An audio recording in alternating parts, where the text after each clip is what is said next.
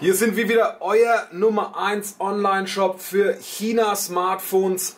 Und heute zum Unboxing und Hands-on das Huawei Honor 20S Smartphone. Ja, erhältlich mit 6 plus 128 oder 8 plus 128 GB in den Farben Weiß, Schwarz oder Blau. Und wie immer alles andere nach dem Intro.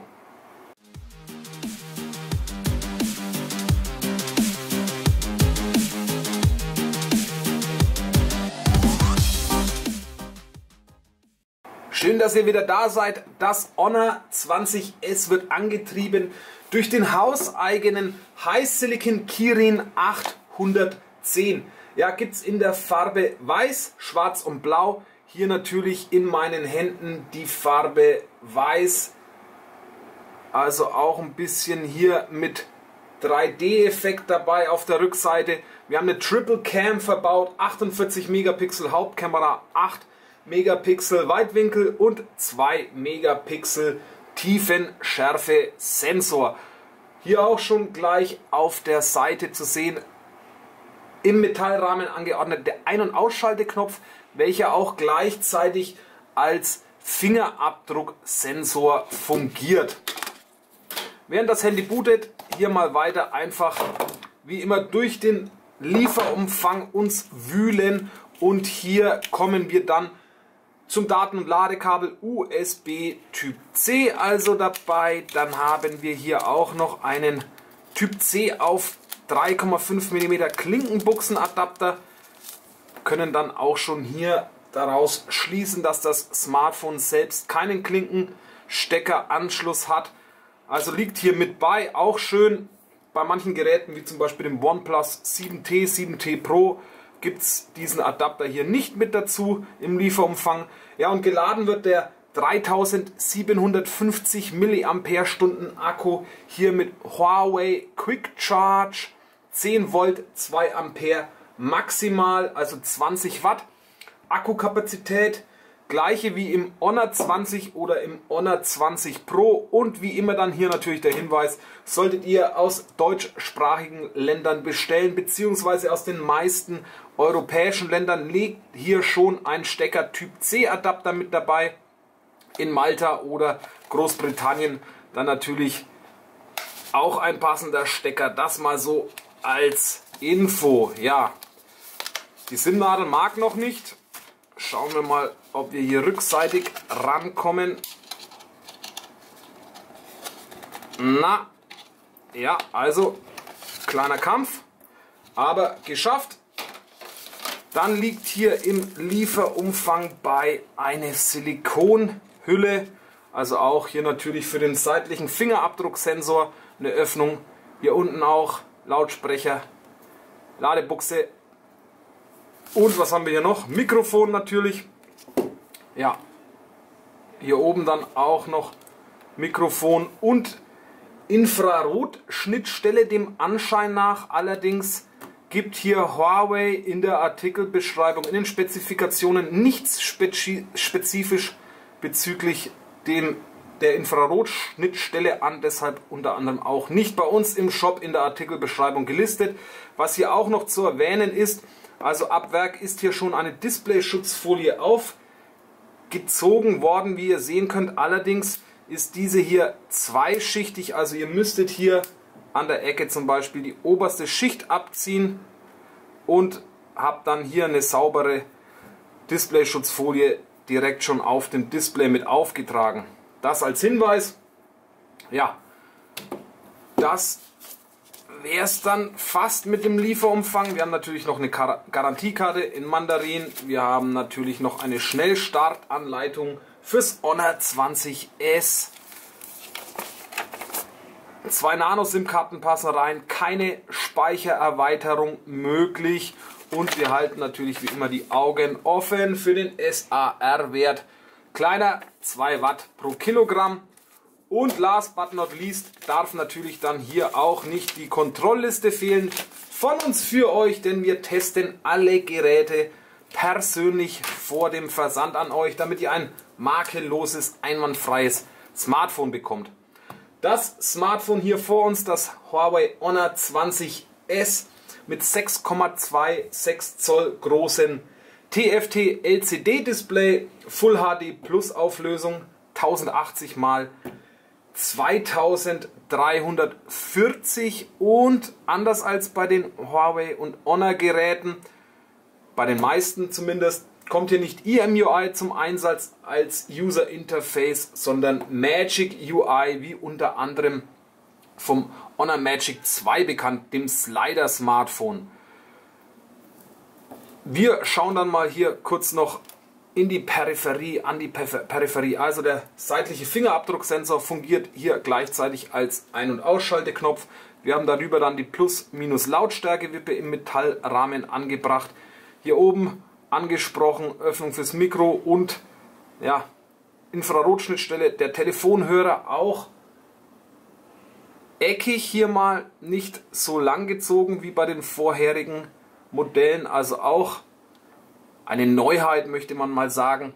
Ja, Stanzloch Frontkamera, Punch-Hole Frontcam, also die Frontkamera mit 32 Megapixeln hier im Display integriert. Auf der linken Seite dann der SIM-Slot. Schauen wir mal rein. Also zwei Nano-SIM-Karten passen rein, keine Speichererweiterung möglich. Und dann hier unten eben Mikrofon, USB, Typ C Ladebuchse und die Öffnungen für den Lautsprecher. Schmuck, Schmuck, Schmuck, 48 Megapixel AI Vision Hauptkamera, 1,8 Blendenzahl. Autofokus, die anderen zwei Sensoren mit Fixed Focus, EIS, also elektronische Image Stabilisierung wird auch unterstützt von den Kameras. Ja, und dann schauen wir hier einfach mal weiter durch Play Store aufgrund des Handelskriegs zwischen der Volksrepublik China und den Vereinigten Staaten von Amerika gibt es ja hier ein paar Einschränkungen, die man so in den Medien mitbekommt. Also wir installieren hier soweit möglich auf allen Huawei Smartphones und Tablets den Google Play Store und die Google Dienste für euch vor wie hier eben auch zu sehen, sollte in den wenigen Ausnahmefällen mal der Google Play Store nicht mit vorinstalliert worden sein, kann es A daran liegen, dass wir es schlichtweg vergessen haben, Entschuldigung, oder B, ähm, das Gerät nicht vom OTA, vom, vom, von der Firmware her auf dem neuesten Stand war. Also wir updaten auch alle Geräte direkt vor dem Versand auf die neueste Firmware-Version, installieren dann den Google Play Store vor und was zu beachten ist, also dass diese Google App hier mit diesem G nicht deinstalliert wird, da anschließend nach einem Neustart der Google Play Store wieder weg wäre. Also das mal so zur Info. Wie gesagt, wir haben eine deutschsprachige Anleitung, wir haben alle benötigten APK-Files und Dateien für euch. Ihr könnt den Play Store auch im Fall der Fälle schnell und einfach selbst installieren auf den Geräten oder auch unseren Technikpartner in Deutschland kontaktieren, der euch gerne dabei behilflich ist. 412 ppi, also Pixel per Inch, die Pixeldichte hier vom Full HD Plus Display. Ja, auch die Magic UI ist hier sauber übersetzt, optisch nicht viel Unterschied zu EMUI. Der Kirin 810, wie gesagt, treibt hier das Honor 20S mit 2,2 GHz Taktung an. Wir haben ABGNAC Dualband Wi-Fi, wir haben Bluetooth 5.0, Easy Projection auch, wie üblich bei den Huawei-Geräten, Stadtbildschirm und Hintergrund. Ihr seht also auch, wie immer bei den Huawei-Geräten ab Werk quasi schon eine Global ROM mit vorinstalliert, auch sehr, sehr, sehr gut übersetzt hier in die ausgewählte Sprache Deutsch. Da gibt es tatsächlich nichts zu bemängeln. Augenschonmodus, Schriftart und Größe könnt ihr hier ändern. Die Schriftart ebenfalls. Ähm, Bildschirmauflösung Smart, also zum Akku sparen oder dann eben Full HD Plus mit diesen 1080 x 2340 Pixeln Auflösung. Weitere Anzeigeeinstellungen. Ja, ihr habt hier keinen Bock auf diese Punch-Hole Notch, wie sie genannt wird. Einfach einen schwarzen Balken drüber lagern und schon ist die Notch weg. Aber eigentlich gewöhnt man sich hier schon recht schnell an die Sache. Töne, Benachrichtigungen, Apps, immer das gleiche. Akku, wie gesagt, 3750 mAh. Speicher, beide Varianten mit 6 oder 8 GB Arbeitsspeicher, jeweils 128 GB internen Speicher, wobei hier dann auch schon etliches vorinstalliert ist. Natürlich das Betriebssystem und Apps. Digital Balance, einfach, dass ihr hier euch ein bisschen schont und nicht allzu viel am Smartphone-Display hängt. Fingerabdruck-ID seitlich, Face-ID hier vorne mit der Frontkamera. Entsperrpasswort ist natürlich auch möglich, PIN oder eben Mustereingabe. Intelligente Unterstützung, wir haben die Bedienungshilfen, wir haben den Einhandmodus, wir haben Verknüpfungen und Gesten, Ultraschnappschuss, Screenshot erstellen, Anruf annehmen, Schauen wir hier rein, auch eine kleine Animation und ein Informationstext, also alles mit dabei. Digitales Headset. Dann seht ihr hier auch schon, weil eben der Google Play Store und die Dienste vorinstalliert sind, kommt hier als weiteres Einstellungsuntermenü Google zum Vorschein. Ja, und System natürlich über das Telefon Magic UI wie hier zu sehen, Honor 20 ist S. YAL-AL50 die Modellnummer Magic UI 211, Android 9, Kirin 810, 8 plus 128 GB. Softwareaktualisierungen, wie gesagt, bekommt ihr rein. OTA-Updates hier bei den Huawei Smartphones. Systemnavigation auch wieder entweder per Gesten Dreitasten-Navigation oder über den Navidot möglich. Und last but not least hier im Einstellungsmenü natürlich die vorinstallierten und verfügbaren Sprachen. Also hier ist auch immer etlich was geboten.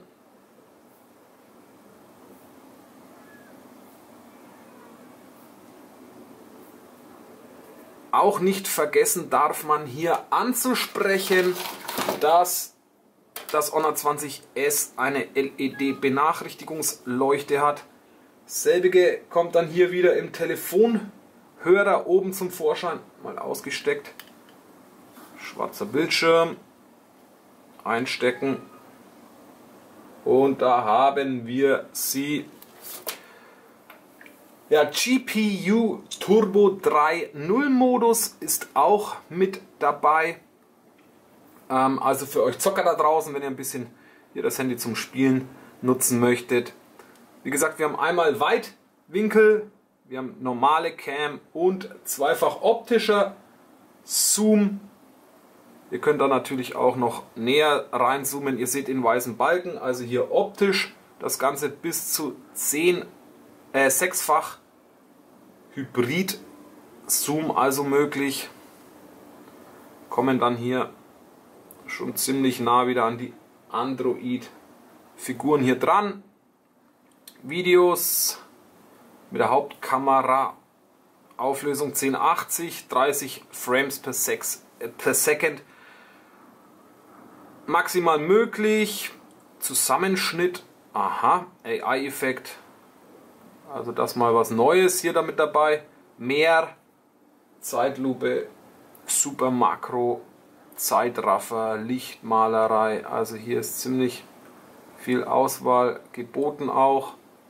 Foto mal hier reinschauen, 12 Megapixel beziehungsweise eben 48 Megapixel AI Ultra Clarity möglich. Auch hier schön zu sehen, alles sehr gut übersetzt. Porträtmodus natürlich, Nachtmodus und AR-Objektive.